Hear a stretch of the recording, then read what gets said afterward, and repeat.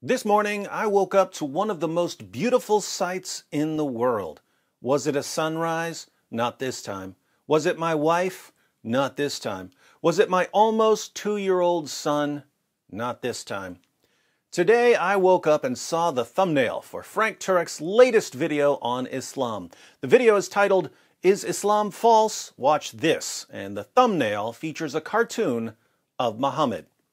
Those of you who are the same age Aisha was when Muhammad climbed on top of her probably won't remember what happened five years ago because you were only four years old at the time. But back in 2015, two jihadis stormed the Paris headquarters of the satirical magazine Charlie Hebdo, shouting Allahu Akbar and the Prophet is avenged as they killed 12 people and injured 11 more. These jihadis went on a killing spree because the paper had been publishing Cartoons of Muhammad Carnage over Cartoons. Ten years earlier, the Danish paper Jyllands-Posten caused an international uproar by publishing several cartoons depicting Muhammad. More than 250 people were killed in riots. Carnage over cartoons. Now, I would take it for granted that if a group starts slaughtering people over cartoons, Journalists, of all people, need to take a stand for freedom of speech by printing the cartoons and discussing them. If journalists back down, they're basically telling terrorists that violence is the way to get what they want. And that would be music to a terrorist's ears, as long as we ignore the fact that most music is haram.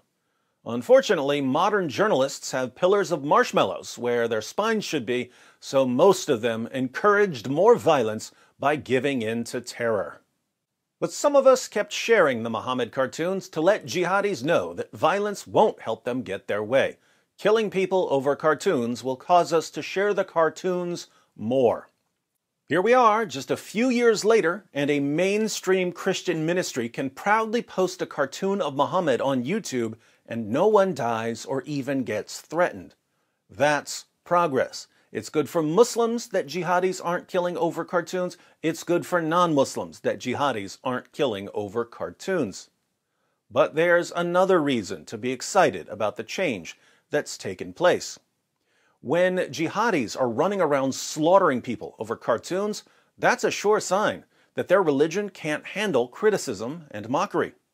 If a violent, oppressive religion can't handle criticism and mockery, what do you think our primary tools in responding to the religion should be. You guessed it, criticism and mockery. But Christians, especially Christian ministries and Christian apologists, didn't want to make fun of Muhammad, no matter how mockable he was. When a man has sex with a prepubescent girl and marries the wife of his own adopted son and beats his wives and allows his followers to hire prostitutes and walks around covered in semen, and sucks on the tongues of little boys, he's basically inviting the world to mock him. He's begging us to mock him. He's saying, please mock me. But Christians don't want to do that because we've underestimated the power of mockery.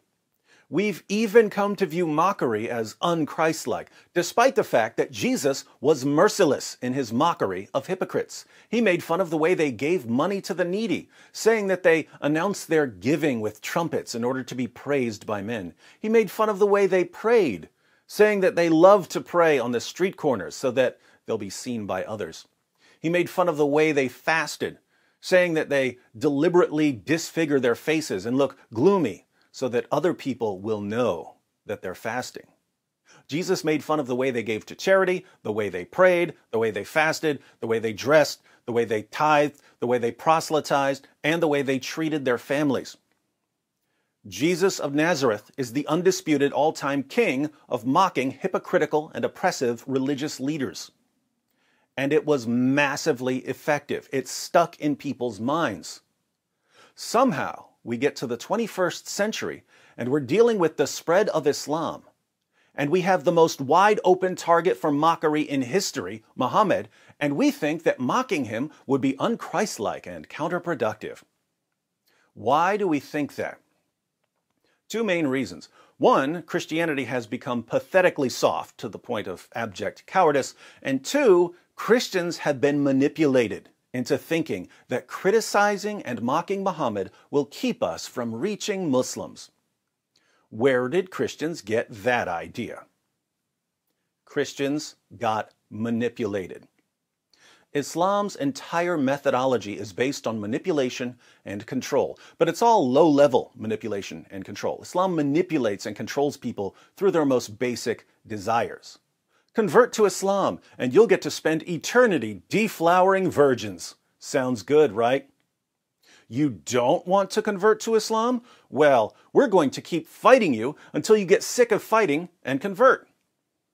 You want to leave Islam? Well, we're just going to have to chop your head off. You want to keep your head, don't you? Your wife isn't doing what you want? Just beat her until she obeys you. She won't like getting beaten. When they interact with Christians in an area where they can't simply force Christians into doing what they want, Muslims use a simple system of praise and abuse.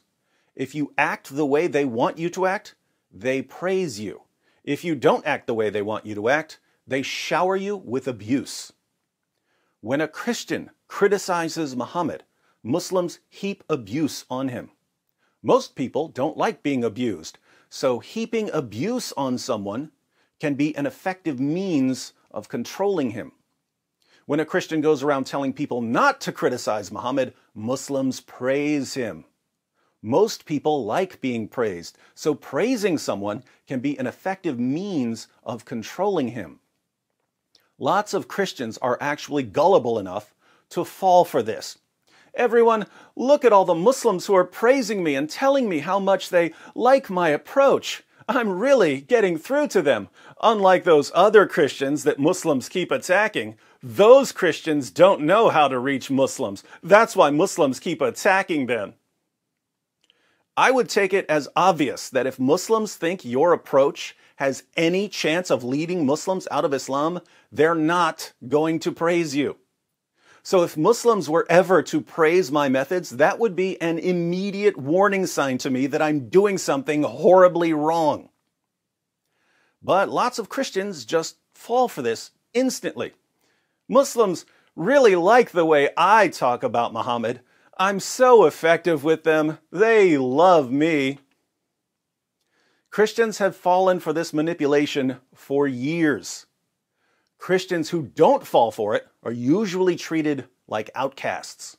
We're told that we don't care about reaching Muslims because we don't use the methods that Muslims praise.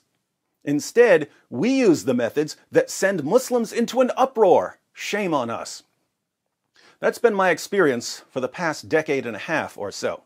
So when I wake up and see a popular mainstream Christian ministry with a cartoon of Muhammad in the thumbnail of their new video, I start to think that the tides may be turning, that Christian apologists may be realizing that Muhammad deserves to be criticized and mocked, and that far from being ineffective, criticism and mockery of perverted hypocrites like Muhammad can be massively effective. I criticize and mock Islam all day, every day through my videos, which are playing nonstop on computers and phones around the world. The sun never sets on the apologetics empire. And guess what? Muslims can't stay away. They're drawn to the mockery. And after they've witnessed the avalanche of evidence against their prophet, they leave Islam. Imagine a world where millions of Christians are exposing Muhammad day and night, where millions of Christians don't let hypocritical religious leaders tell us how to respond to hypocritical religious leaders, where millions of Christians return to our true Christian roots of mocking hypocrites and oppressors in epically memorable fashion. That would be a world in which Islam and its empire of fear and violence come tumbling to the ground. If you want to check out Frank Turek's new video on Islam with the infamous Muhammad thumbnail, the link is in the description box. On a related note, Cameron from Capturing Christianity interviewed me a while back on whether my methods cross the line. He posted that interview a couple days ago. The link to that video is also in the description box. Check him out.